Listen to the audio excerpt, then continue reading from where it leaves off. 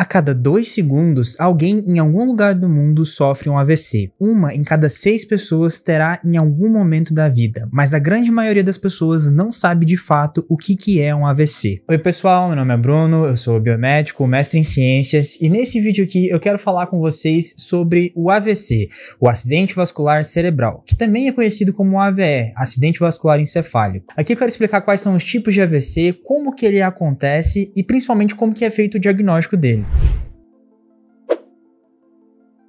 O AVC é uma emergência neurológica que ocorre quando o suprimento de sangue para o cérebro é interrompido, o que pode levar a danos permanentes no tecido cerebral e a disfunções neurológicas relacionadas com perda de coordenação motora, alterações da consciência e alterações cognitivas. Existem dois grandes tipos de AVC: o AVC isquêmico, que tem o nome isquemia justamente porque isso significa uma interrupção de fluxo sanguíneo para alguma parte do cérebro, tem como característica, obviamente, a interrupção interrupção de fluxo sanguíneo para partes diferentes do cérebro, geralmente relacionadas com uma obstrução do fluxo em algum dos vasos, seja artérias ou veias. Geralmente ocorre a formação de trombos e esses trombos vão impedir mecanicamente o fluxo sanguíneo de passar de um lado da artéria para o outro, facilitando o aparecimento do AVC isquêmico. O outro tipo de AVC que a gente tem é o AVC hemorrágico, que comumente é conhecido como derrame, que nada mais é do que quando ocorre uma hemorragia intracraniana, uma hemorragia dentro ali da região onde fica o encéfalo,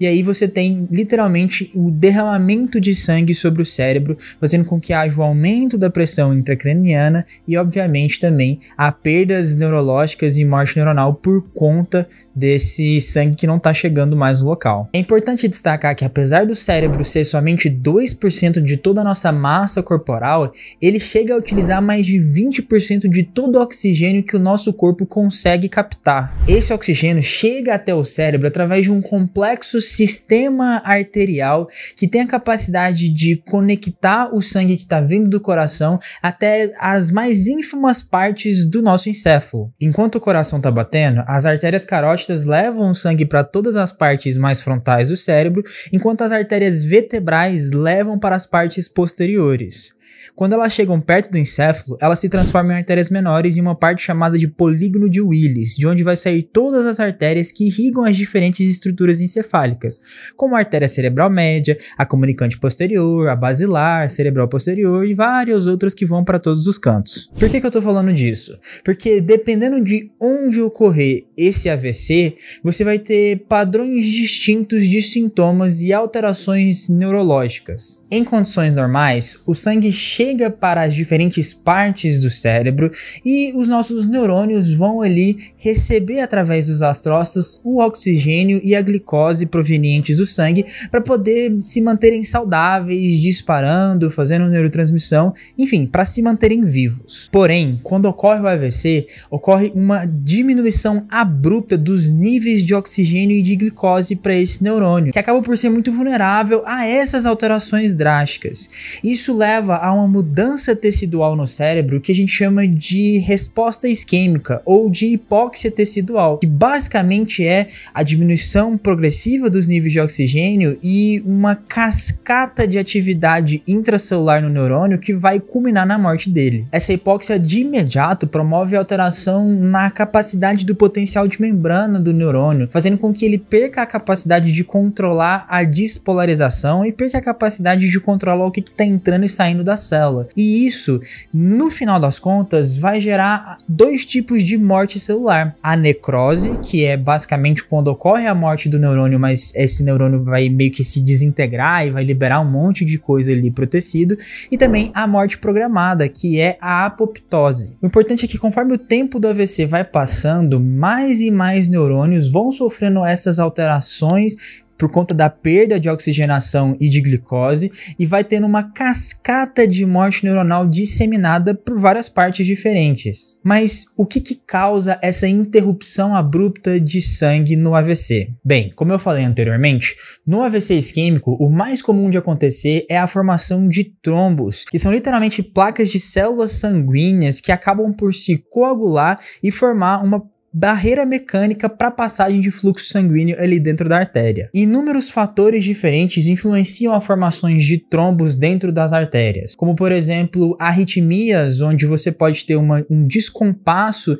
do fluxo sanguíneo por conta do descompasso rítmico da, da, do coração, da batida do coração traumas causados por acidentes, hipertensão descontrolada crônica e distúrbios de coagulação são os principais fatores que influenciam na formação desses trombos, aumentando o risco de desenvolvimento de AVC. Já no AVC hemorrágico, geralmente as causas estão relacionadas com o enfraquecimento das paredes endoteliais dos vasos. Assim como acontece no AVC isquêmico, os fatores de risco para essas lesões ocorrerem ali nos vasos são são a hipertensão crônica descontrolada e coagulopatias disseminadas, que no fim das contas vão ter a capacidade de promover o que a gente chama de derrame por conta de alterações na permeabilidade daquela artéria ou daquele vaso. É muito importante destacar que cerca de 85% dos casos são de AVCs isquêmicos. Porém, a taxa de mortalidade para quem tem o AVC hemorrágico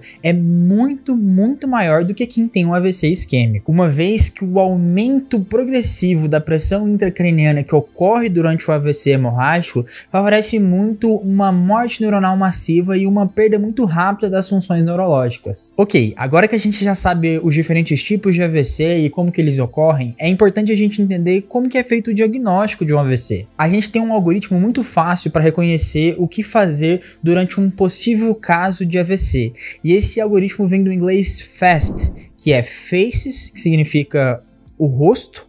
arms, que significa os braços, S é speech, que significa a fala, e o T de time, de tempo. Bem, a primeira coisa a se fazer é pedir para a pessoa dar um sorriso, para você prestar atenção como que tá a face dela, principalmente se ela vai ter dificuldades em manter esse sorriso de forma harmônica. É muito comum que a pessoa que tem AVC acabe por não conseguir levantar uma parte específica do rosto. Além disso, você precisa pedir para que ela consiga levantar os dois braços. É muito comum que a pessoa que está tendo AVC vai ter dificuldade para levantar um dos braços, ou talvez até os dois braços, por conta do prejuízo prejuízo motor que está acontecendo justamente por conta desse AVC isquêmico ou AVC hemorrágico. A terceira coisa é pedir para a pessoa falar qualquer coisa, porque é muito comum que as pessoas que estão tendo um AVC tenham prejuízos imediatos na fala, ou não falando coisa com coisa, ou não conseguindo articular as palavras por perder o controle motor da boca e da língua. E o final do algoritmo é sobre o tempo, porque é muito importante que,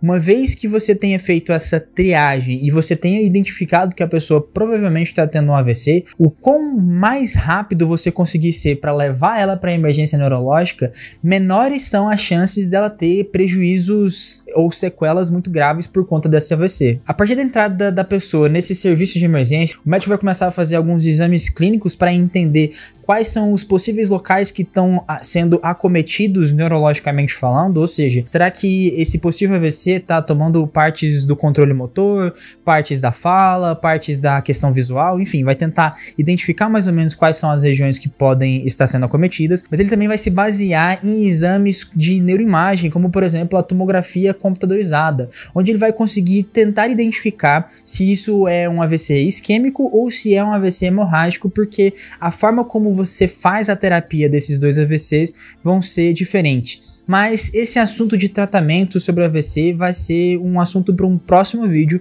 que eu vou fazer se vocês quiserem e comentarem aqui embaixo. Muito obrigado pela atenção e até mais!